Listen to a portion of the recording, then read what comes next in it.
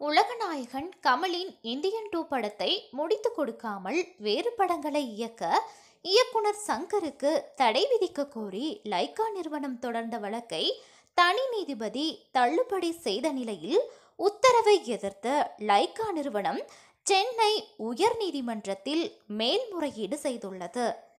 Indian படத்தின் மிகப்பெரிய வெற்றியை தொடர்ந்து இருபத்தி ஐந்து ஆண்டுகள் கழித்து மீண்டும் கமலுடன் இயக்குனர் சங்கர் கூட்டணி வைத்து இந்தியன் டூ படத்தை உருவாக்க களமிறங்கினார். ஆனால் எதிர்பாராத விதமாக ஏகப்பட்ட குழப்பங்களும் பிரச்சனைகளும் எழுந்த நிலையில் படம் அப்படியே நிறுத்தி வைக்கப்பட்டது.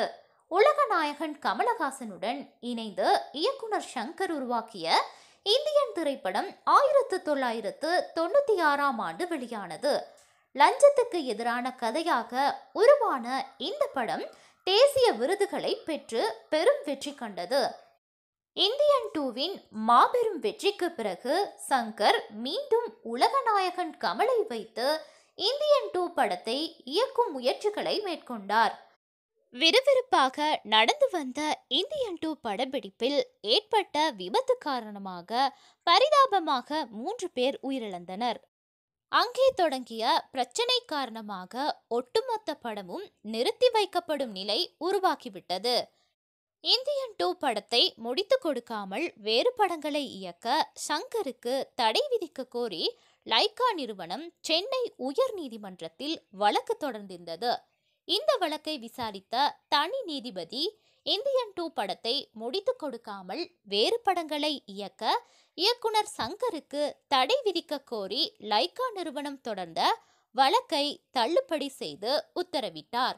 இந்த நிலையில் தனி நீதிபதியின் உத்தரவை எதிர்த்து லைக்கா சார்பில் தாக்கல் செய்யப்பட்ட மேல்முறையீட்டு மனுவானது விசாரணைக்கு வந்தது. அப்போது லைக்கா தரப்பில் தனி நீதிபதியின் உத்தரவு நகல் இல்லாமல் மேல்முறையீட்டு வழக்கை விசாரணைக்கு பட்டியலிட வேண்டும் என கோரப்பட்டது. இதை ஏற்றுக்கொண்ட தலைமை நீதிபதி அமர்வு லைக்கா நிறுவனத்தின் மேல்முறையீட்டு வழக்கை தனி நீதிபதி உத்தரவின் சான்றளிக்கப்பட்ட நகல் இல்லாமல் விசாரணைக்கு பட்டியலிட பதிவுத்துறைக்கு உத்தரவிட்டுள்ளது. இந்த வழக்கு ஒரு பக்கம் சென்று கொண்டிருக்க இயக்குனர் சங்கரோ ராம் சரணை வைத்து இயக்கும் புதிய படத்தில் பிஸியாகிவிட்டார்.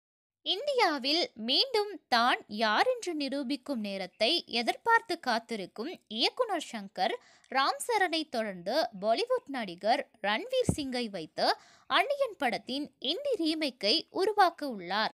மறுபக்கம் கமல் ரசிகர்களுக்கு இந்தியன் டூ பற்றிய மகிழ்ச்சியான தகவல் எதுவும் வெளியாகாத நிலையில் சற்று சோகத்தில் இருக்கின்றனர்.